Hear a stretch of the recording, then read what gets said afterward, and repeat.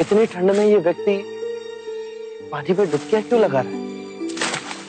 ये ब्राह्मण प्रातः स्नान करने को गए। तो जैसे स्नान करके बाहर निकले तो मेढक पैर के नीचे आ तो इन्होंने सोचा, मैं अशुद्ध हो गया महापाप हो गया। तो इन्होंने फिर उस पाप को धोने के लिए 108 बार डुबकी लगाने का संकल्प किया।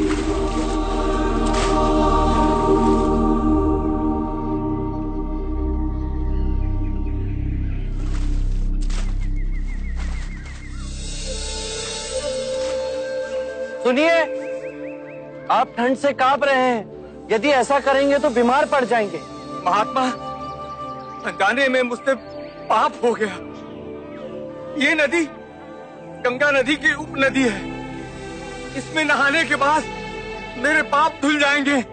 इस नदी में डुबकी लगाने से यदि आपके पाप धुल जाएँगे तो इस नदी में रहने वाले मेंढक के ऊपर पाँव आने पर आप अपवित्र कैसे हो गए यदि आपको ऐसा लगता है कि नदी में डुबकी लगाने से आपके पापों का नाश होगा तो इस नदी में रहने वाली मछलियाँ, कछुए, सर्प, मेंढक, इन सबको अब तक मुक्ति मिल गई होती।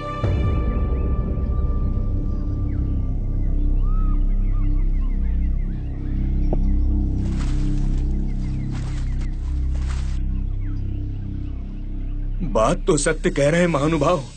नदी में डुबकी लगाने से पापों का नाश नहीं होता। अपने पापों का नाश करने के लिए विवेक जगाना आवश्यक है। इतनी साधारण बात को समझाने वाला कोई असाधारण ही हो सकता है।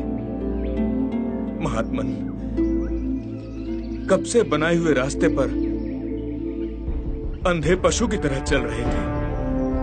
आपने हमारी आँखें खोल दी।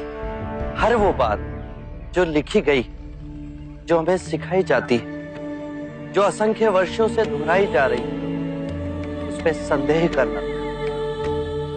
अपो दीपो भव अपना दीपक स्वयं बनो।